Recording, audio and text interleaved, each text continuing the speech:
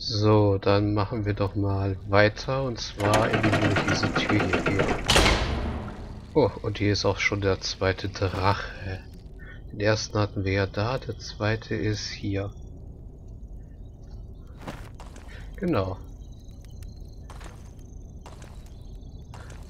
Und jetzt mal in diesem Raum umsehen. Da ist schon mal ein Schlüssel, da ist eine Fackel daneben, die wir nicht mitnehmen können, weil wir sonst tierisch überladen sind.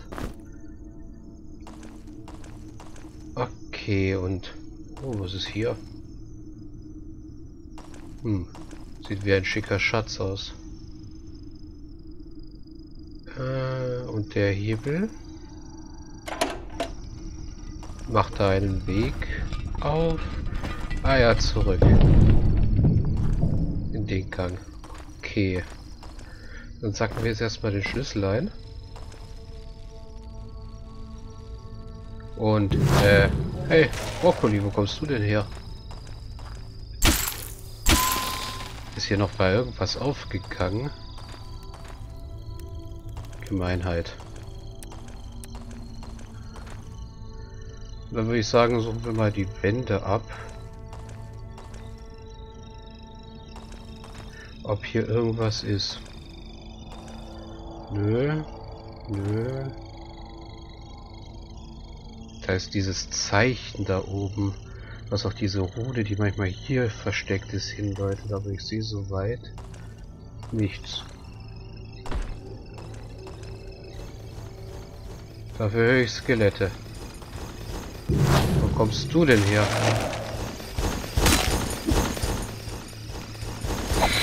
Oh. Warum verfehle ich dich dauernd?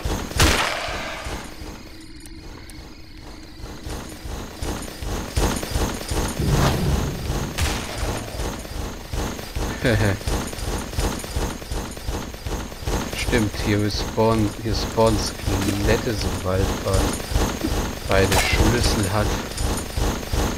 Daran kann ich mich auch noch erinnern, aber nicht daran, dass es so viele waren.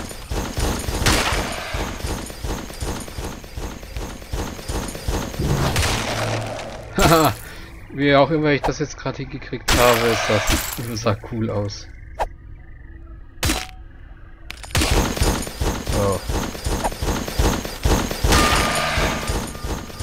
Okay, ich finde es auch so, dass ich ein Level abgekriegt habe.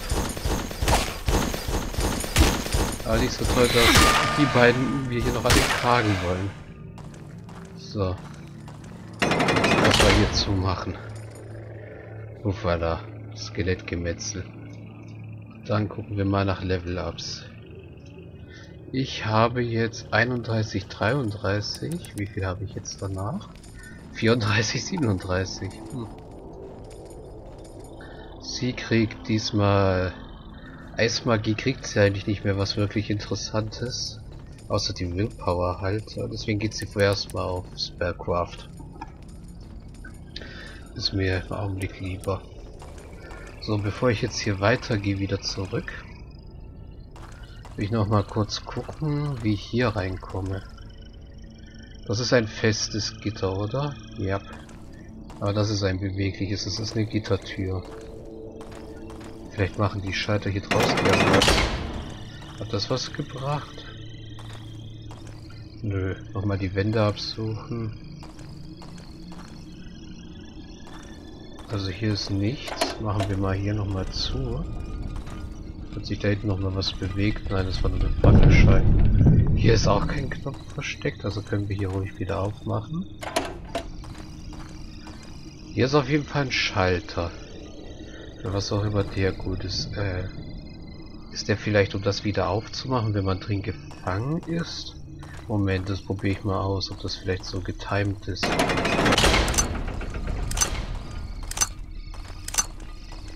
Tatsache.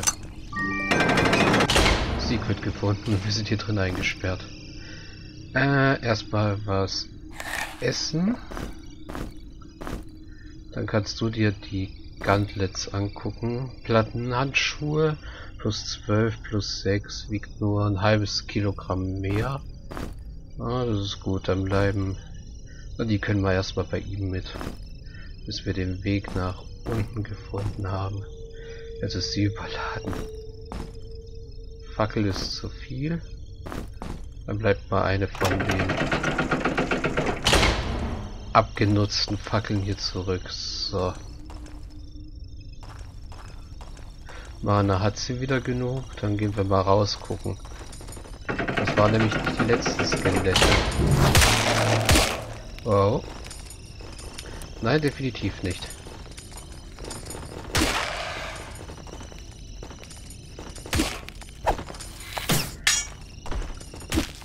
Uah. Na, so viel Schaden macht ihr gar nicht mehr. Sind noch mehr Skelette hier? Könnt euch ruhig melden. Hier scheinen schon mal keine zu sein. Hier auch nicht. Gehen wir mal zu blauen Kristall.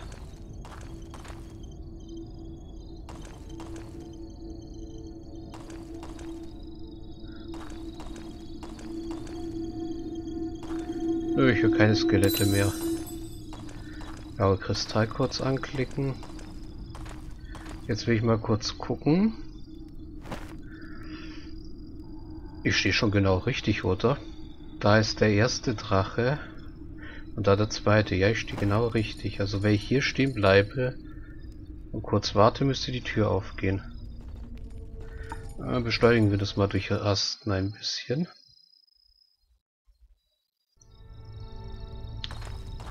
Und bingo, die Tür ist offen.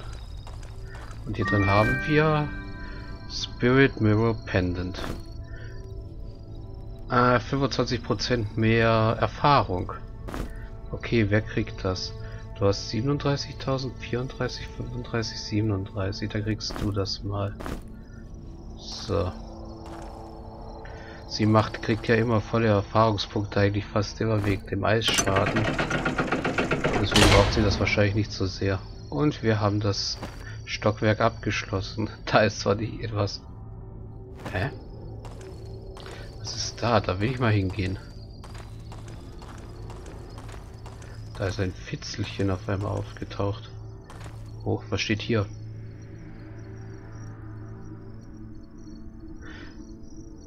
Deine Füße werden dich hier niemals hastig genug äh, tragen.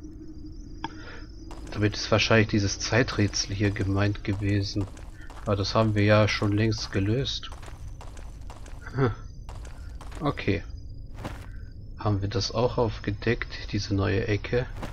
Und können mal runtergehen, wollte ich gerade sagen. Aber Talisa hat ein Level abgekriegt. Das geht mal wieder 1923 in Dagger. Jetzt hat sie 21, also jeweils ein, zwei Punkte in Dagger machen einen mehr Tech Power. Gut zu wissen. ja, und das hier kenne ich noch sehr gut. Hier an der Seite, da steht nämlich, das hier ist eine Falle. Wenn man auf die Web guckt, steht hier auch, wir sind gefangen. Also sobald wir hier drauf treten auf die Platte, geht die Tür hinter uns zu. Und es tauchen Spinnen auf, so da, weil ich weiß. Deswegen war Flucht. Es war sehr schnell Flucht in diese Richtung. Äh. Geh sterben. Er hat auch ein Level abgekriegt und die Spinnen auf der und schnell die Tür zu. Uffala.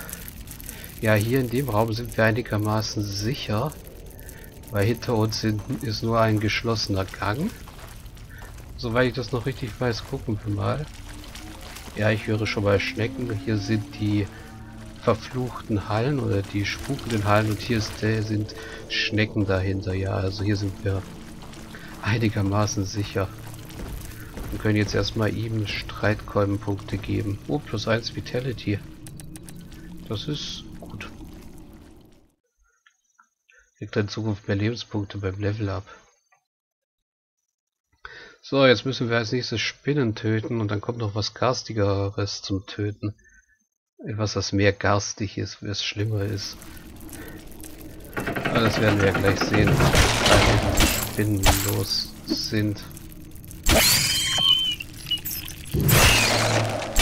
Edge Badge, wen willst du vergiften?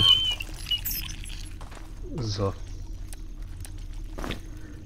Einen Schinken, den kann er nicht tragen, den kann er auch nicht tragen. Kann sie ihn tragen? Nein. Kann sie ihn tragen? Nö. Hat jemand Hunger genug? Ja, er hat Hunger, also kriegt er den einen Schinken. So, und jetzt werde ich mal gucken, wo treibt er sich rum.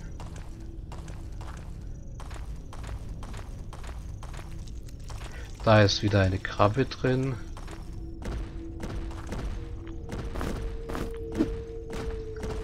Also ich höre schon mal stampfen und da ist er auch schon. Der Oger. Der will ich kaum Schaden macht. Nicht mal mit meinem Backstep. Oh, jetzt doch. Oh. Ja genau, renn gegen die Wand. Backstep macht Schaden. Das war ein. Und ja, jetzt müssen wir mit dem Uka Ping-Pong spielen. Wow.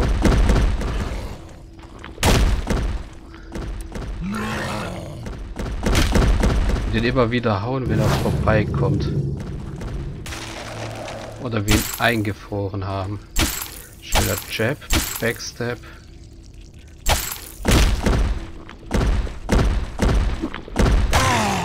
Und tot ist er, Gott sei Dank. Und ja, der droppt eine Ogerkeule, ein Ogerhammer.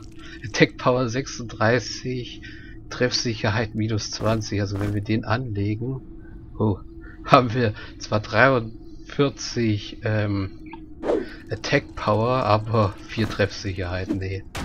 Ich glaube, da machen wir nicht genug Schaden. Und hier haben wir einen Sack mit Essen. Okay, da stopfen wir noch mehr Essen rein. Haben ja genug. Oh, und Milkweed. Davon haben wir ja bis jetzt nur eins. Brauchen wir zwar nicht unbedingt, aber gut. Und den Sack lassen wir mal da mit dem Essen. So, jetzt will ich mich mal kurz hier umgucken. Hier in der Haupthalle. Hier haben wir uns ja noch nicht... Hier haben wir ja noch ein bisschen was zu entdecken. Hm. Halls of Fire, nein, in die will ich noch absolut nicht. Äh, da kommt nämlich nachher auch noch was Gemeines. Oh, Spinne. Das war ein schöner Backstep. Und ja, hier hinten gibt es nochmal Spinnen, aber ich möchte was anderes gerade. Hier unten müsste es nämlich irgendwo den blauen Orb geben. Hm. Ist in der Fackelhalterung eine Fackel drin gewesen? Nein, da war keine drin, weil ich höre hier was. Oh, ja. Ich höre hier definitiv was. Einige mehr auf uns zukommen. Gut. Und ein Secret. Ein Frostbite Necklick. Frostresistent. Resistenz plus 50. Naja. Äh. Und ein Knopf. Der etwas aufmacht. Ja genau. Die Kammer des Orbs. Der müsste da hinten irgendwo liegen. Aber bevor wir hier weitermachen, ich schlafe mal kurz. Weil mit keinem Mana wäre es hier etwas schlimm weiterzumachen. Denke ich mal.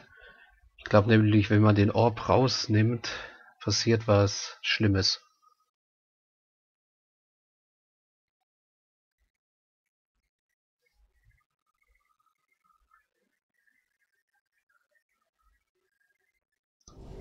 So. Okay. Ah ja, wenn ich auf die Druckplatte drauf trete, dann geht der Teleporter vor uns aus. Und da kann ich schon mal nichts drauflegen. Also ist auf der vor uns. Auf die kann ich was drauflegen. Dann geht der andere Teleporter aus.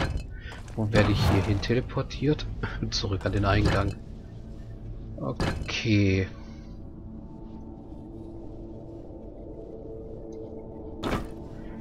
Hinter dem Teleporter ist eine Druckplatte. Also gucken wir mal. Schorige geht nicht weit genug. Deswegen müssen wir den Bogen wohl schießen. Okay, der Bogen hatte, hat gewirkt. Und irgendwas ist jetzt anders geworden. Ah ja, der Teleporter aktiviert das hier. Also jetzt sind die Druckplatten invertiert worden. Ist ja mal nett. Ah, das kann ich mal schließen. Das kann hier rein. So.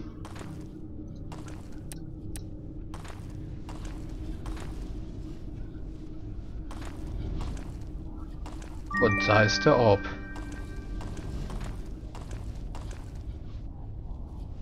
Okay, ihn zu finden macht noch nichts Böses.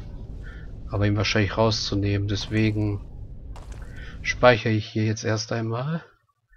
Und dann sehen wir uns gleich wieder.